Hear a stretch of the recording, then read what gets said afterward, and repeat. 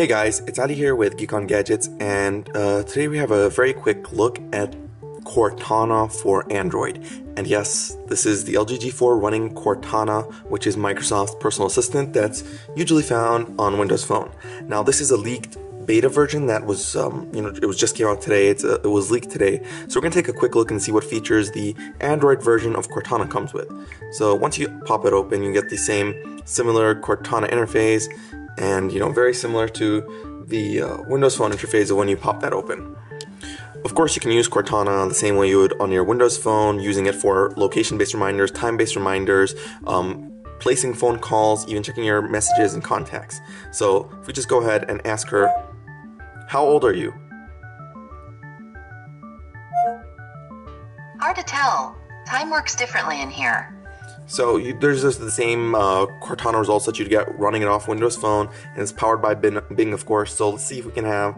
Um, remind me to call my brother tomorrow.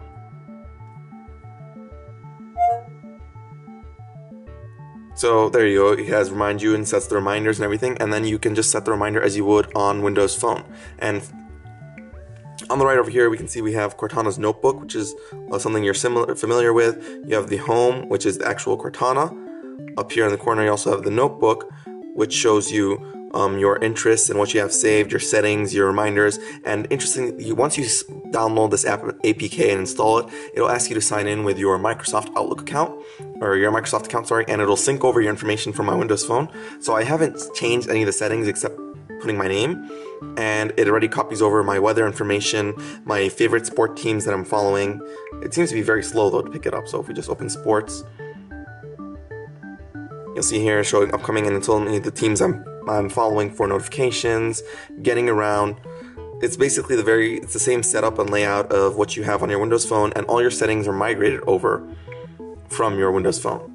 So it's really cool, and it's, it's it makes it very nice to copy over. even have the same uh, news topics. So here we have Nokia, um, local recommendations, trending stories, and these stories actually look a lot nicer and more detailed than they do on Windows Phone.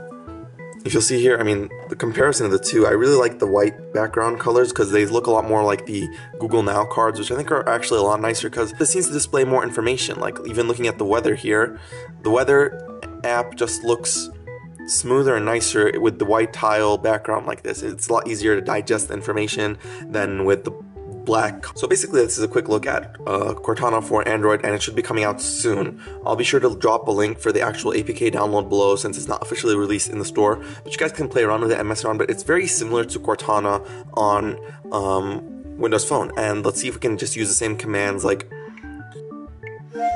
call my brother. So you can also use Cortana to call contacts, same as you would on Windows Phone. I guess the only difference really is that you can't quickly access Cortana from the Google Now button down here, so you'd have to have it on your home screen, as I do here. So that was a really quick look at Cortana for Android. What do you guys think of it? Um, is the fact that Cortana is coming to Android a feature that might make you move to an Android device too. I'm very happy that it's here because I prefer Cortana to Google Now personally, and I think it's just a more complete uh, personal assistant. So, what do you guys think? Um, be sure to check it out in the download link below. Let me know what you think. Don't forget to comment, like, and subscribe, and I'll see you guys around. Thanks for watching.